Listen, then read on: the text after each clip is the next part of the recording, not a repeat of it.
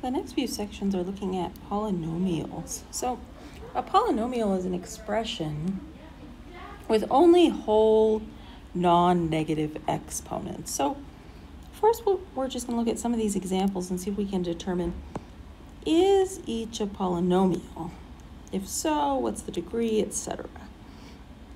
So when I'm making this decision, I'm looking at the expression and I'm determining does it have only whole non-negative exponents? So when I'm looking at the exponents here, let's see, I have a 5, a 3, and then here I have a constant. So if you wanted to, you could include there an x to the power 0 because if you remember, an x to the power 0 is equal to 1, okay?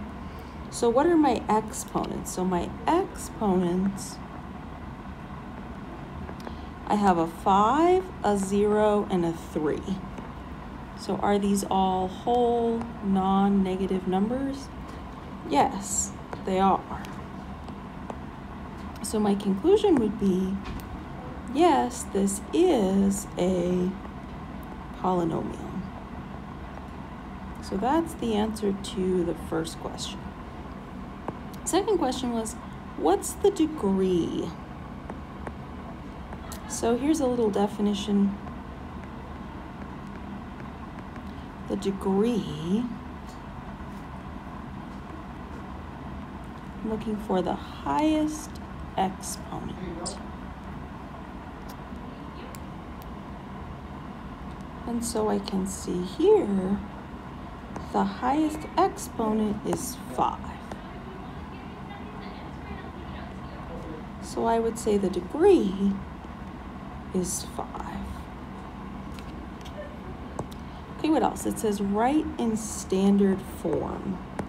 So how do I do that? I need to arrange this in descending powers. Okay, so to write my polynomial in standard form,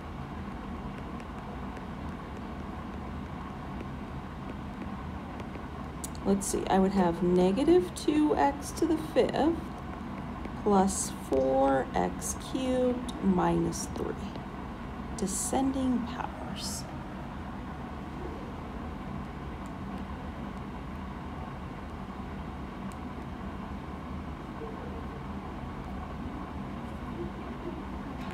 Okay, here's the next one. So is it a polynomial? So I can start by looking at the exponents.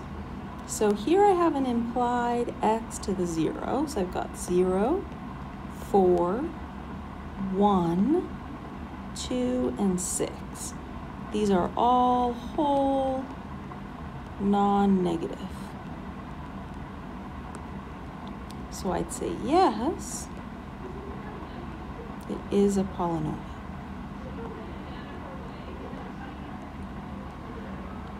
Okay, what is its degree?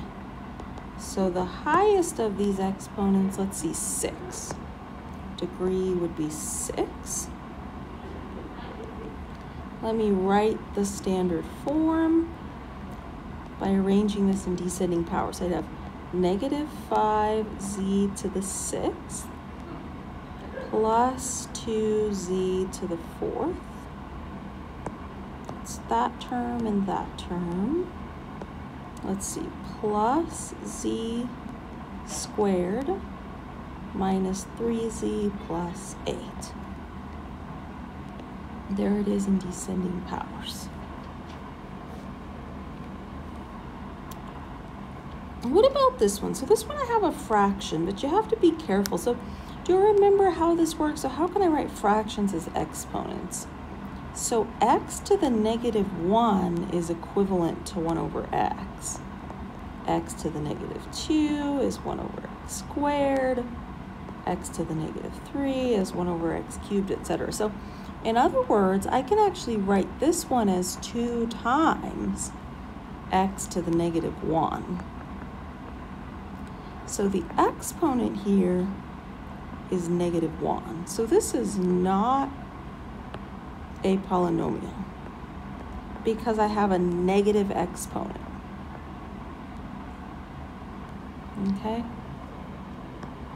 So this is kind of side work. That's just remembering the rules. Let's see if there was anything else. I was going to say, let's go ahead and do the rest of these and then we'll go back. So what about this one? So here's something else. Do you remember how these fractional exponents work? y to the 1 half is the same as the square root of y. y to the 1 third is the cube root of y. y to the 1 fourth, the fourth root of y, etc. So actually when I have a fractional exponent here, or a root, this is not a polynomial, right? Because in order for uh, my expression to qualify as a polynomial, the exponents have to be whole numbers. A half is not a whole number. Okay, what about this next one? Okay, what are the exponents? Let's see, 2 and 1, whole non-negative exponents is a polynomial. The degree is the highest exponent, 2, and it's already in standard form. It's an easy one. Let me compare 6 and 7. So be careful here. See how the x squared is in the numerator? I could write that expression as 1 fifth times x squared. Versus number 7, this is 5x to the negative 2. So you see how in number 6, this is a polynomial. The exponent is 2. That's a whole non-negative exponent. Versus 7 is not a polynomial because the exponent is actually a negative number. Okay, so the one that is a polynomial, let me see, the degree would be 2. And it's already in standard form. There's only one term.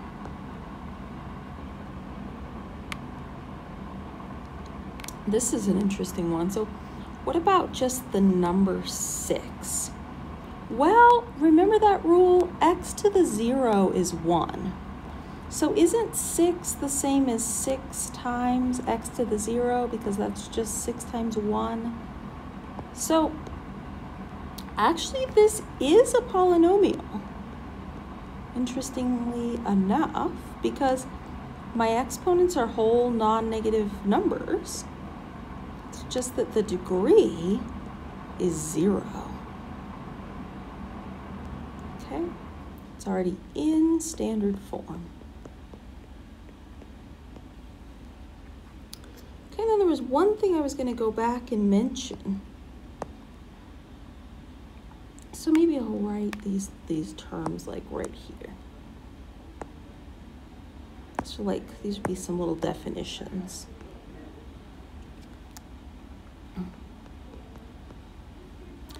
for polynomials,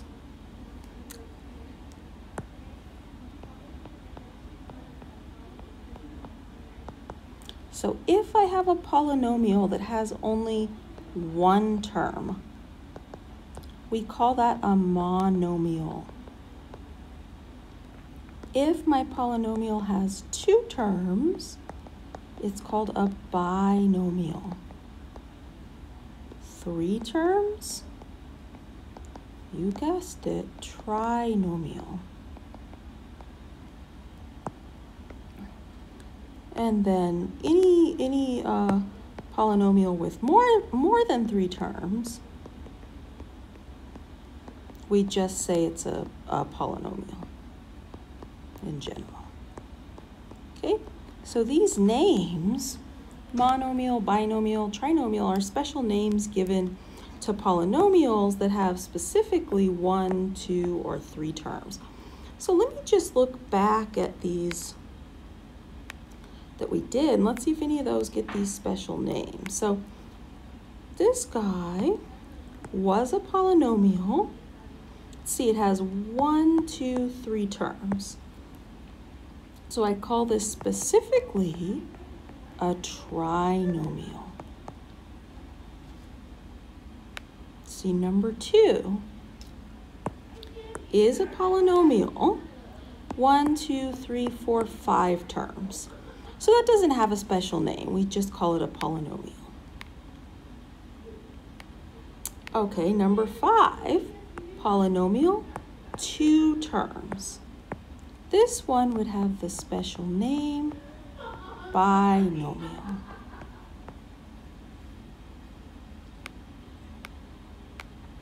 Number six is a polynomial with only one term.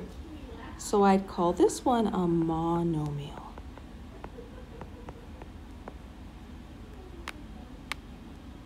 And here's another one-term polynomial. It would be called a, mo a monomial. Okay, so those are some of the basics, just class of, uh, classification. So what about some simplifying? So we've already kind of done this. This is just a matter of combining like terms. Okay, so let's see what I've got. I've got x cubed. Let's see, that's the only x cubed term. What else do I have? I've got uh, x squared. So that's the only x squared term. See, 2x's minus 4x's. That's minus 2x's. Plus 2 minus 2 cancels at 0. That was pretty easy then.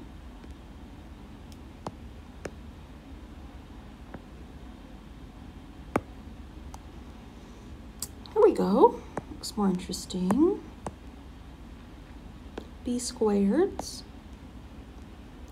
Okay, should we group them together first? I've got 3 eighths b squareds, 5 sixths b squareds. I've got minus 3 fifths b plus 2 fifteenths b.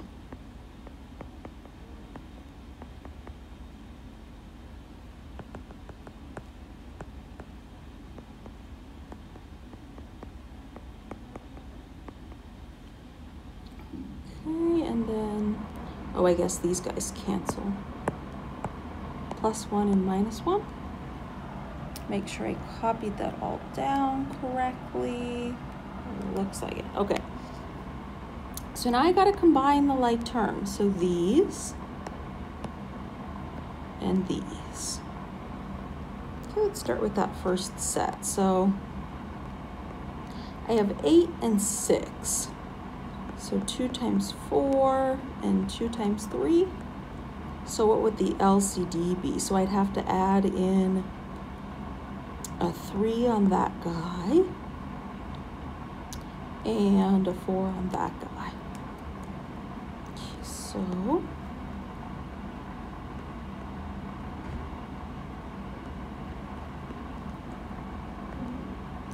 we said 3 for that one.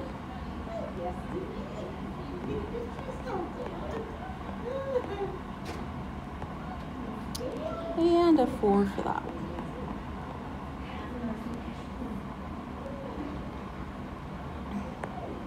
Second one here is a little easier. I can see the LCD for that guy is going to be 15. Three and a three.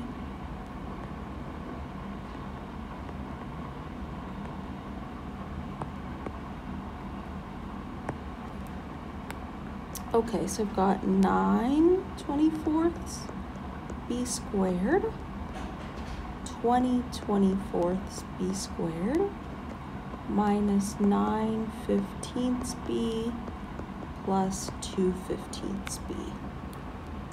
So I've got 29 24ths b squared minus 7 15ths b. Let's make sure we got that right. So 9 plus 20, 29 24ths. Negative 9 plus 2, negative 7 15ths. Okay. There we have it.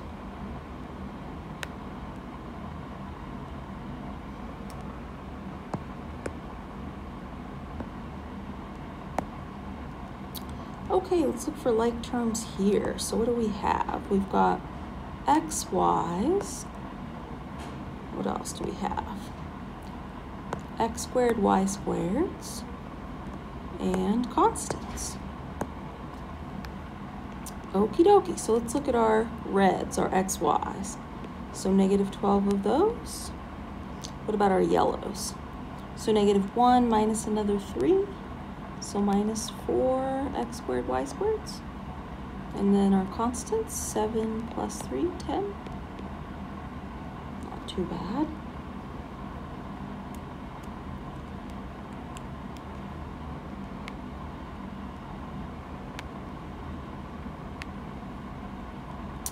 Another subtraction.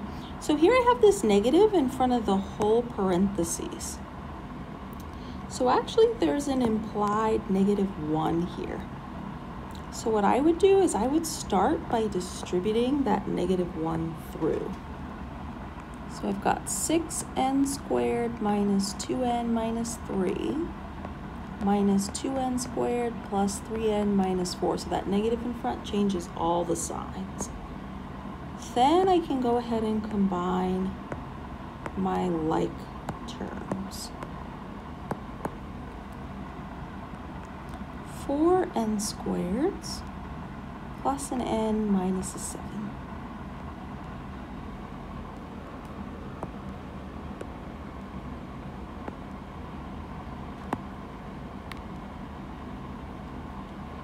Subtract 3x squared plus 2x minus 1 from 5x plus 2. Okay, so I have 5x plus 2. I have to subtract the whole expression. So don't forget that parentheses there.